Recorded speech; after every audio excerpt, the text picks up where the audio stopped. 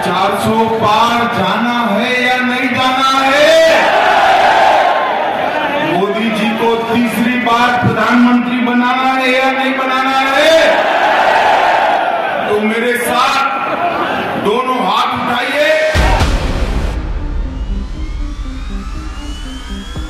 I am Tanul Thakur I am an assistant editor at Outlook today I started my day with covering the BJP rally starting from Moradabad where Mr. Amit Shah came and delivered the speech propping up the local candidates.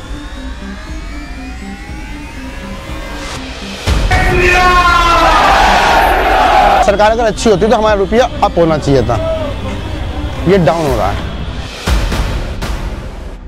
जैसे voter हम बताएँ तो हम उनको केवल कलाकार समझते हैं, बाकी तो हम उन्हें जानते ही नहीं ठीक है, नहीं, क्योंकि हमने उनकी मूवी बिस्तर तक भी देखी है भाई रामायण में अगर हमने उन्हें राम का रोल करते देखा है तो बिस्तर मूवी में हमने उन्हें गंदा रोल भी करते देखा है। तो उस चीज़ पे तो हम उन्हें वोट करेंगे ही नहीं। जो है, मैंने निश्चित कर ही रखा है कि मैं बीजेपी को वोट दूँगी। उनके प्रत्याशी मुझे पसंद हैं अरुण गोविंद जी बहुत अच्छा उनका चरित्र रहा है पूरे उनके होल लाइफ में। मैं उन्हें पसंद करती हूँ। और वो लोग कुछ मैंने ऐसा भी सुना है कि उन्होंने कुछ खराब फ़िल्मों में काम किया तो अभिनय और जीवन ये दोनों अलग चीज़ हैं।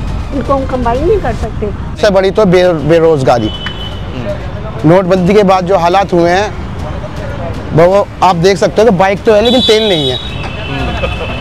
पैर तो है जूते नहीं है। ये हालात है।